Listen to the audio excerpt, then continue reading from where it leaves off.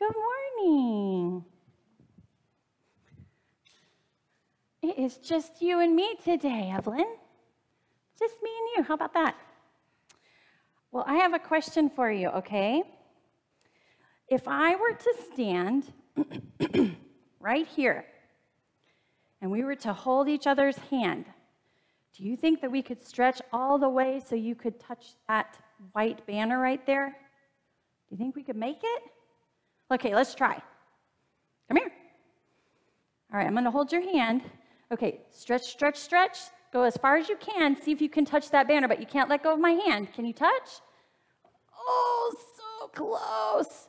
Almost. Okay, do you think there's a way that we might be able to do it, just me and you, and be able to be able to do it and get all the way there? How might we do that? You think we can? Because right now we're running a little short. How could we stay connected and get all the way there? Well, yeah, I don't think I can stretch my body any further. You might be able to. But you know what? Let's try this.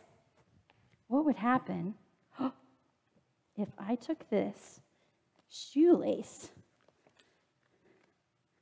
This is much easier than the first service. All right. Now you hold on to this. Let's see. All right, can you stand up? Can you reach it now? See if you can stretch and reach it now. Oh, yeah, you did. Hold on tight, okay? Hold on real tight. See if you can touch it. Woo! Yep, there you go. Awesome. All right. So, you know what? What we found out at first was that we didn't think we necessarily had what we needed to make the distance, did we? It was a little bit short. But then when we got creative, we found that there was a way we could reach it. We had just what we needed to do it, didn't we? Yeah. All right, well, let's pray, okay? Dear God, thank you so much for helping us to see that sometimes when we think we don't have enough, we do. It's right there with us. Help us to remember that we live in abundance and that Jesus gives us that abundance in life. We ask that you um, help us to trust you, that you will provide for us all that we need. In your name we pray. Amen. Please pray with me. O Lord, may the words of my mouth and the meditation of each heart be acceptable in your sight. Lord, you who are our strength and our Redeemer. Amen. Well, I've been trying to think about, I've, i just have had the gathering on my mind. And so as I was thinking about uh, the gospel reading today, it really struck me that a lot of this gospel reading is about gathering, about being together. And as I thought about that aspect, it dawned on me that there are kind of three things that we learn in this gospel reading about gathering. The first is why we gather. We also learn what happens when we gather. And then we learn what happens when we leave. And so I want to talk a little bit more about that today.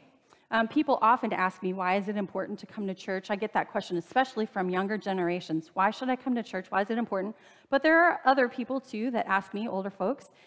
Um, and there's a lot of answers that I could give, a lot of um, explanation, a lot of fun stories to help bring home the point.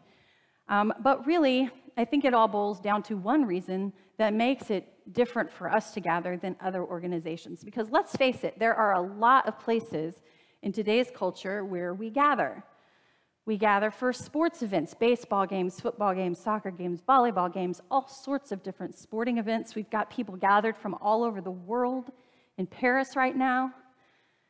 We have Boy Scouts and Girl Scouts and all sorts of clubs, book clubs, and things for adults to do, country clubs. We have schools. I mean, you name it, the schools have a club for it these days. So many ways that we gather together in smaller groups and in larger groups. And so, what makes this gathering, us today, different from all of those things? And what I think it boils down to is one thing, and that is Christ. We gather because of Christ. This is the reason. There are maybe many ways or places we gather. We gather at church, we gather at camp, we gather in homes, a week and a half ago, we gathered for the gathering.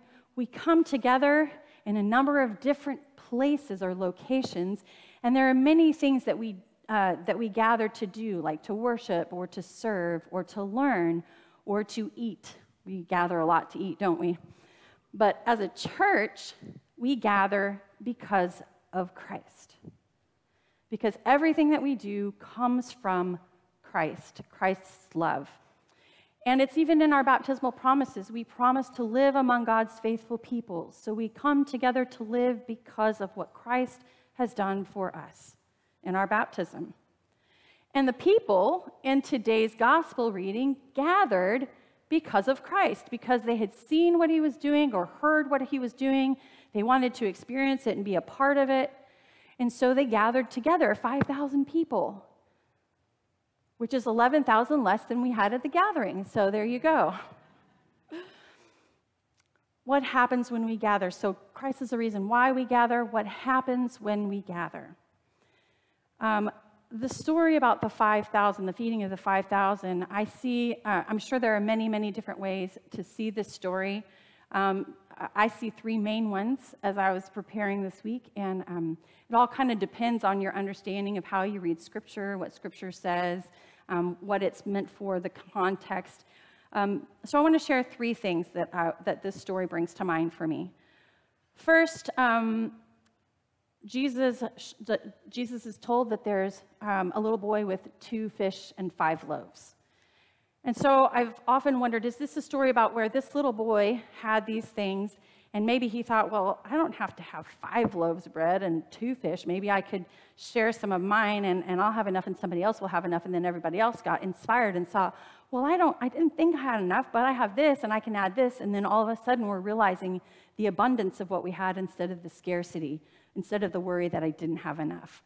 So much so that there were 12 baskets left over. And so perhaps this story is about how we live in abundance even though we fear scarcity. And when we share, we realize that. But then I got to thinking too, there's a lot of numbers that are really important in the Bible. 40 comes up a lot, 7, 3, a lot of numbers. So I thought, why two fish and five loaves specifically? Like it could have been a couple fish and a few loaves. It could have been had a lunch with them in a basket. There's all sorts of things that they could have described it with, but it was two fish, five loaves. So I thought, okay, I'm going to look up the numbers. So I looked up the numbers, and it was really interesting to find that two is a number that symbolizes unity or division, mostly unity. And then I found that five is the number for grace, it represents grace. And so we gather together because Christ unifies us and Christ gives us grace in that unification.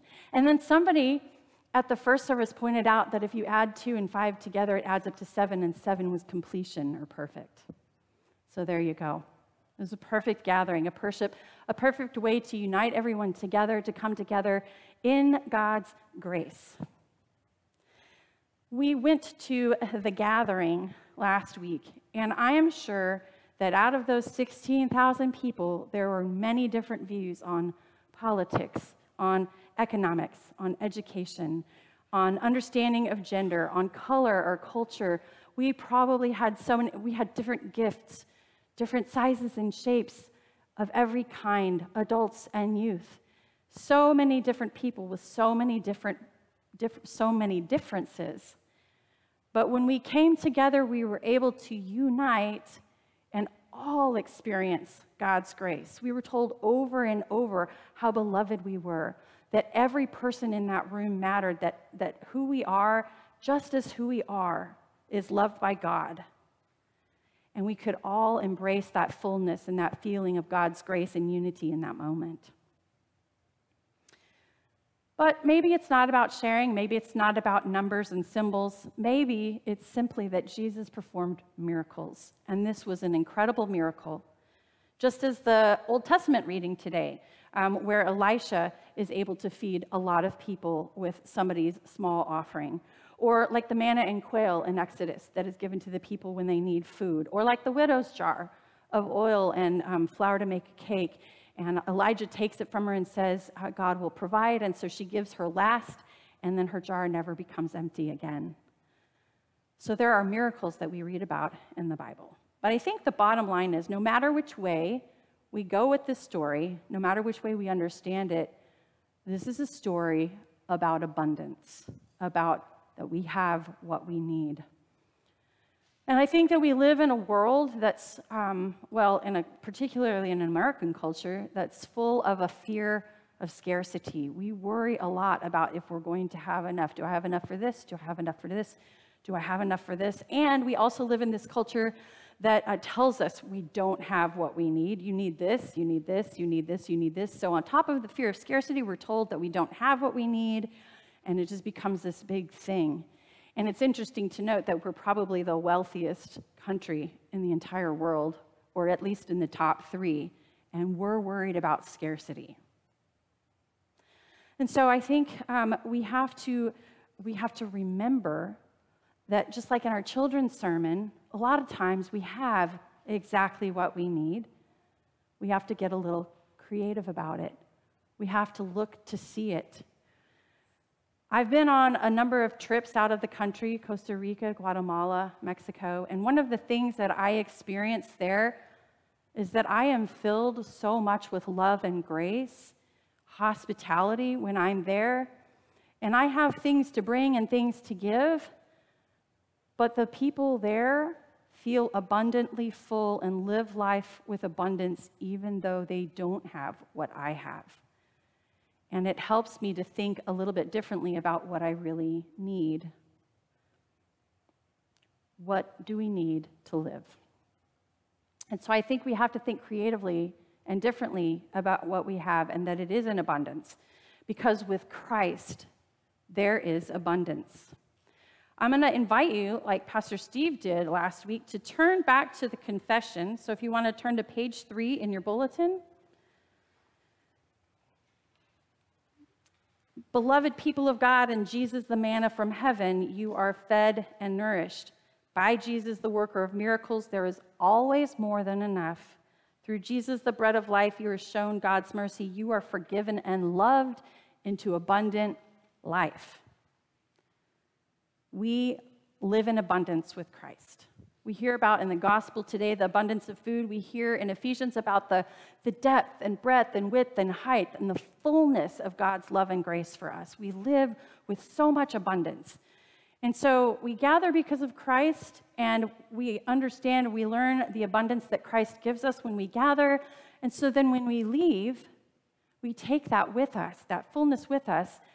And I, I saw the end of this story very differently today than I ever have before. There's a couple of things I want to point out. First of all, the disciples go and they get on the water, and they're about three or four miles out into the water in the middle of the lake, and they're tossing all around because uh, there's a great wind. And I don't know, sometimes visibility, three or four miles is a long way. I bet it was hard to figure out where they were going, where they needed to be. And all of a sudden, there's Jesus walking along the water coming to them. And it dawned on me that when we go out, sometimes we get a little lost or we get a little bit misguided or we have a hard time finding our direction, but Jesus comes to us to help us. And if you look at the very last line of that reading, immediately the boat, the boat reached the land toward which they were going. Jesus gets us where we need to go. Jesus comes to us and gets us where we need to go. So we take this abundance with us in material goods such as fishes and loaves, and we take this fullness of God and we share it with others. And hopefully, with all of that, we bring others with us the next time we gather to also experience this abundant life that is through Christ. So, why do we gather? Because of Christ. What happens when we gather? The recognition of God is made known and we're filled beyond measure. And what happens when we leave? We take this fullness, this abundance with us to share with the world until it is once again time for us to gather. Amen.